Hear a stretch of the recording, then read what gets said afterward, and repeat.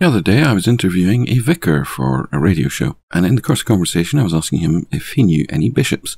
Because I have this strange, weird long term thing where I like to have breakfast with bishops whose name or diocese begins with B. For no reason.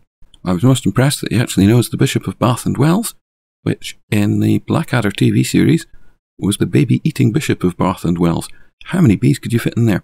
Unfortunately, the Bishop of Bath and Wells is quite seriously unwell, so there's no way I'm going to be having breakfast with him for a while. One bishop he does know is the Bishop of Sodor and Man. Sodor? You ever watch Thomas the Tank Engine or Thomas and Friends? The books and show are set on the fictional island of Sodor.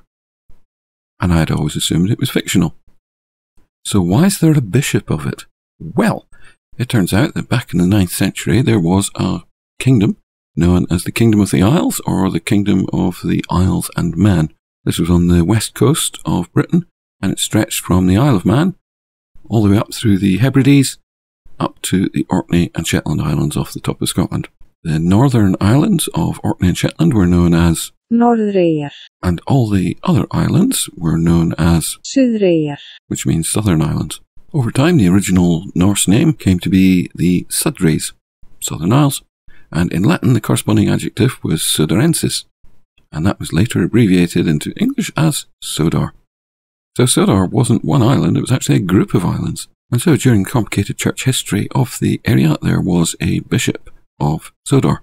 But with a bit of a split and a bit of a loss, later generations did not realize that Sodor originally included the Isle of Man, so they changed the designation to Sodor and Man, probably in the 17th century.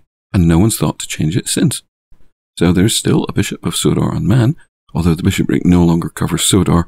The bishop of Sodor and Man is just the bishop of the Isle of Man but still has the title. The Thomas the Tank Engine books were written by the Reverend Wilbert Awdry, Actually, they're properly called the Railway Series.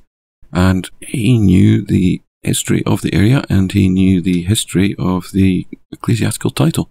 His island of Sodor was said to lie between England and the Isle of Man, placing it firmly in the area that would have made it part of the original Sodor. In fact, the island has kind of taken on a life of its own. The Reverend wrote a book about the history of the people of the island of Sodor.